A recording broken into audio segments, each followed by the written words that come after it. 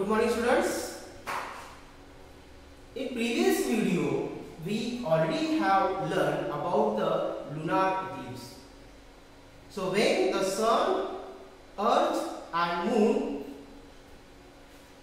come in a straight line come in a straight line so this situation we can see in the lunar eclipse.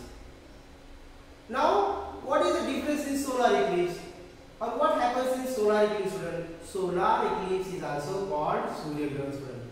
So today we are going to learn about the Surya Grahan. Okay, and this solar eclipse always takes place when there is a moon. Okay. Now see students, solar eclipse when the sun, moon and the earth comes in a straight line when the sun, moon and earth comes in a straight line and the moon is in the center okay and moon is in the center of or between the earth and sun okay so this case is called as a solar eclipse so in this case what happens now with the help of diagram i will show you students. Now see here this is the diagram. Let me make big diagram this okay.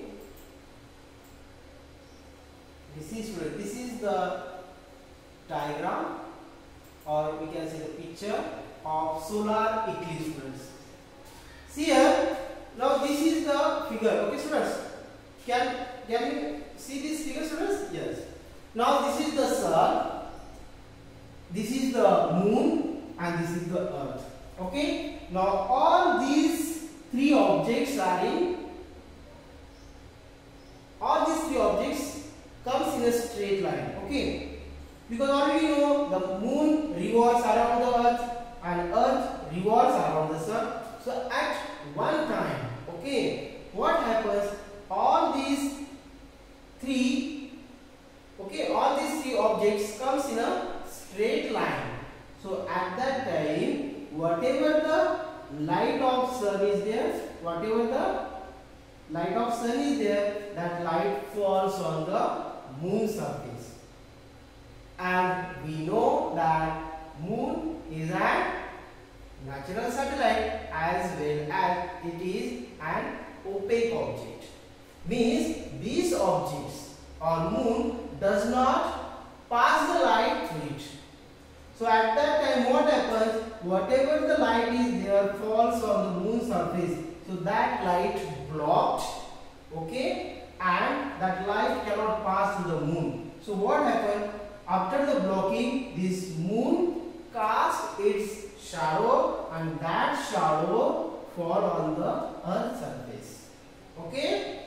That shadow fall on the earth surface so at that time we can see the some part of the sun okay? So this moon here this moon is in front of the sun so whatever the part is whatever the structure is there of moon so only that much part we cannot that much part okay? Means only some part of the sun is visible at that time so we can see that so like this structure sometimes we can see. Yes or no? Because when this is the moon and this is the sun okay? So only the some part of sun is visible during this solar eclipse because moon comes between the sun and earth.